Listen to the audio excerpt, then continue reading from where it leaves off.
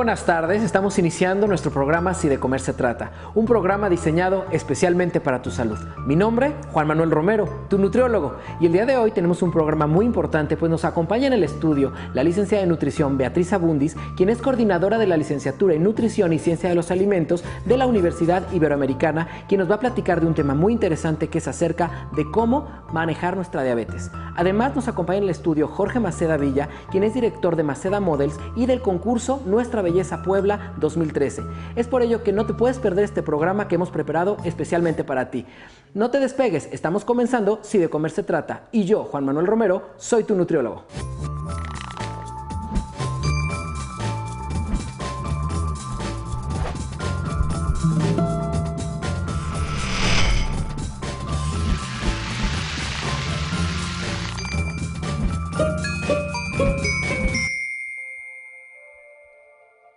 Estamos comenzando si de comer se trata y uno de los temas de salud pública que más nos preocupan es definitivamente la diabetes. Es un tema de salud pública que tenemos que combatir no solamente con buenos hábitos de alimentación, sino informándonos cuáles son las causalidades de esta patología. Es por ello que el día de hoy nos acompaña la coordinadora de la licenciatura en nutrición y ciencia de los alimentos de la Universidad Iberoamericana, la licenciada Beatriz Abundis, quien hoy nos va a platicar acerca de esta enfermedad crónico-degenerativa que cada vez va aumentando más en nuestro país ya que México ocupa el primer lugar a nivel mundial de diabetes infantil. Betty, ¿cómo estás? Bienvenida una vez más. Encantado que estés aquí conmigo. Muchas gracias, Juan. Una vez más estando aquí contigo. Pues vamos a platicar hoy acerca de la diabetes. Betty, ¿qué es la diabetes? Ok, Juan, mira, la diabetes es una enfermedad que nosotros conocemos como algo crónico, quiere decir que no eh, empiezo a tener la enfermedad y se me quita, es una enfermedad que no tiene una cura como tal, sino solamente se trata, es una enfermedad que se caracteriza por tener valores de azúcar, lo que sería glucosa muy altos en sangre, estamos hablando que en ayuno arriba de 126 miligramos por decilitro. Correcto. Eh, ¿cómo, se, ¿Cómo puede detectar una persona que tiene diabetes? Ok, mira, tienes como cuatro características importantes, ¿no? Poliuria, polidipsia, polipagia y pérdida de peso. ¿Qué me refiero con esto, Juan? Estamos hablando que es una persona que empieza a tener mucha sed, por lo tanto, muchas ganas de ir al baño, siempre tiene mucha hambre y empieza a perder peso de manera constante, pero no se detiene, es decir, no estoy perdiendo un kilo, medio kilo, sino la disminución de peso de verdad empieza a preocupar. Sin ninguna causalidad. Sin ninguna Una persona normal, por ejemplo, que puede sospechar que pueda tener antecedentes eh, de, diabetes, por ejemplo, una persona que viene de padres o abuelos diabéticos, ¿cómo puede saber si es candidato o no a una diabetes? Ok, mira Juan, para empezar, todos los mexicanos, solamente por ser mexicanos, tenemos como ese puntito para exactamente para tener diabetes. Segundo, como lo comenta, si mi papá o mi mamá presentan diabetes, bueno, yo tengo una posibilidad muy alta de tenerlo. Si además mis hermanos ya desencadenaron diabetes, bueno, mis posibilidades se incrementan. Si no hago ejercicio, Juan, es algo muy importante, pero también si mi alimentación no es correcta. Entonces, si yo empiezo a detectar como todas estas características y mi peso, no estoy a dieta y empiezo a perder peso, tengo siempre mucha sed, lo que te comentaba, ¿no? Y me paro muchas veces a ir a baño, sobre todo en la noche.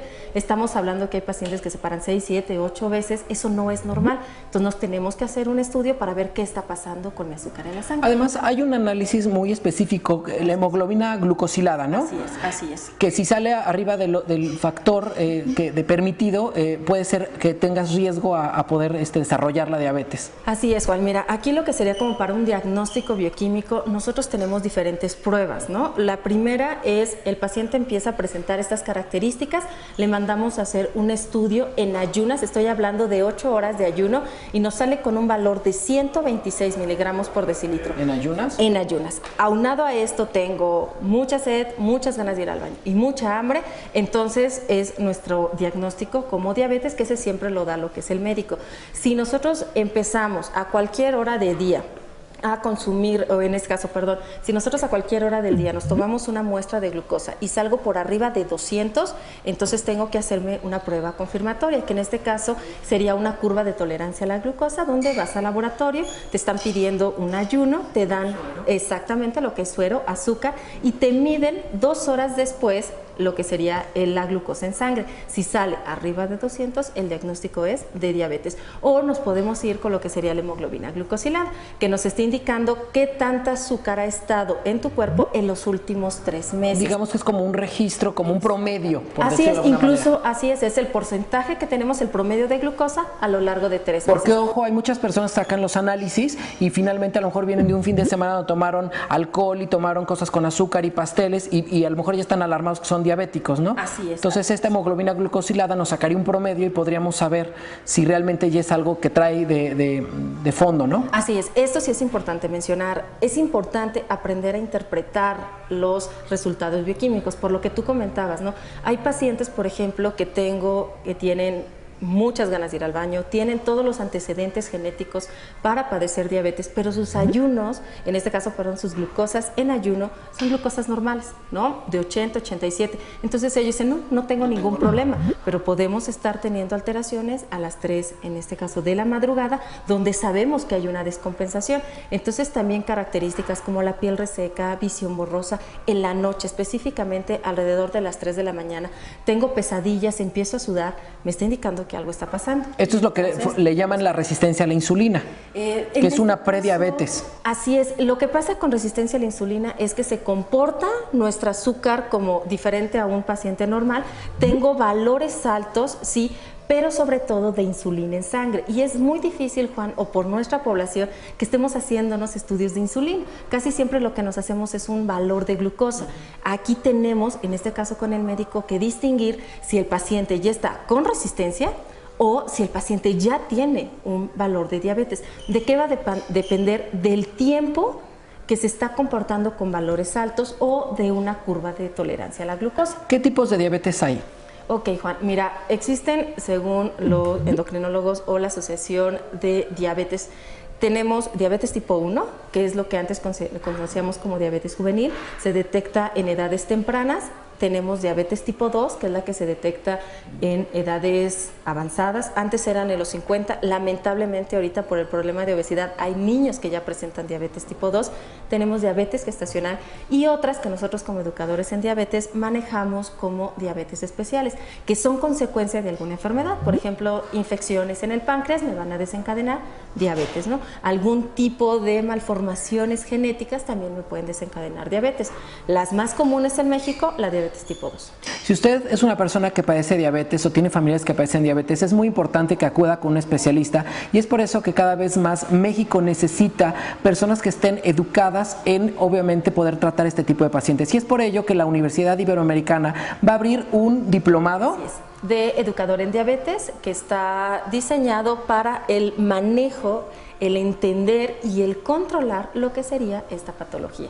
A quién se le está enfocando, a médicos, nutriólogos, enfermeras, pero también si hay alguna persona que esté interesada en conocer su enfermedad y cómo manejarla y tiene más de cinco años de evolución diagnosticando diabetes. Viviendo con la enfermedad. Así es. La pueden tomar también. Eh, ¿Cuándo empieza este curso, Betty? El 15 de febrero, Juan. Estamos empezando viernes 15 de febrero y terminamos en julio, la primera semana. Las personas que estén interesadas, ¿a qué teléfono nos pueden marcar, Betty, para que se puedan empapar más del tema, inscribirse, saber más? Aquí, Juan, lo que les pediría es que entren a la página de la universidad en Ibero Puebla, en donde dice programas abiertos, educación continua, ahí está el diplomado de educador en diabetes y ahí tenemos toda la información de los módulos, cuándo los estarían dando, quiénes los estarían dando y lo que serían los horarios. Ahora usted ya lo sabe. Betty, muchísimas gracias por habernos acompañado y esperamos pronto tenerte otra vez por acá. Muchas gracias, Juan. Al contrario, nosotros vamos a un corte comercial y regresamos aquí, así de comer se trata.